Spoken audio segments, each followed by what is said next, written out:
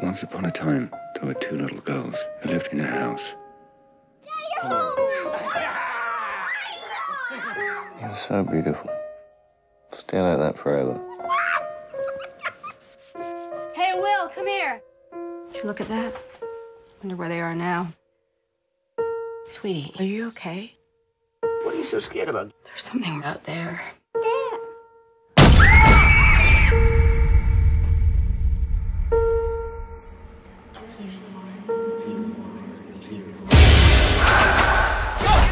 Doing in there?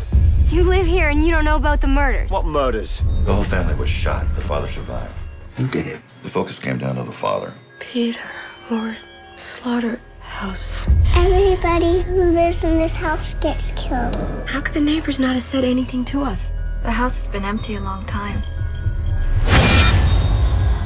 I need to talk to you about one of your patients, Peter Ward. Let's make sure we're talking about the same man.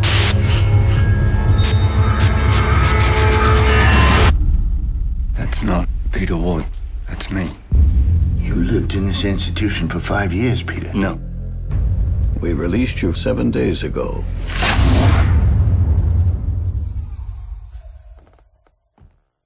Oh, I hate it when you leave. Look. What? You and the girls are dead. Did I do it? What do you remember? I left my wife and my family at home this morning. Who's at the door? There's something wrong with this house. You can't stay there. It's gonna kill you.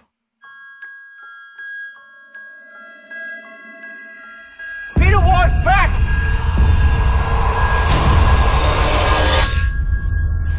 Once upon a time, there were two little girls who lived in a house.